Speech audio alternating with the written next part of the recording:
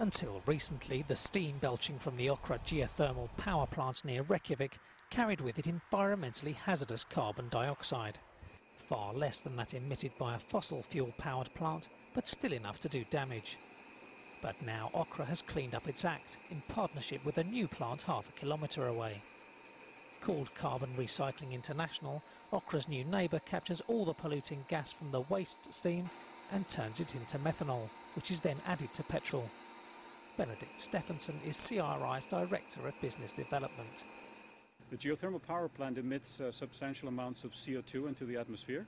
We take that CO2 and we pump it by a pipeline into our plant. We also take electricity and use the electricity to produce, produce hydrogen. By combining CO2 and hydrogen through a catalytic process, we make liquid fuel, which is methanol. The company say a car running on pure methanol fuel would produce just 30% of the emissions of standard petrol. But as existing car engines are not designed to run on such fuel, the company is currently focused on blending it with gasoline.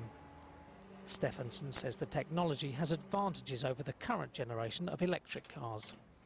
We're essentially turning renewable power, electricity, into liquid fuel for normal gasoline powered cars.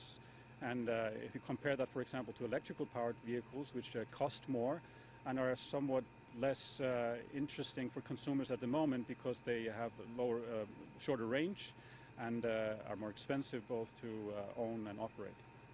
The plant is producing 2 million litres of methanol per year.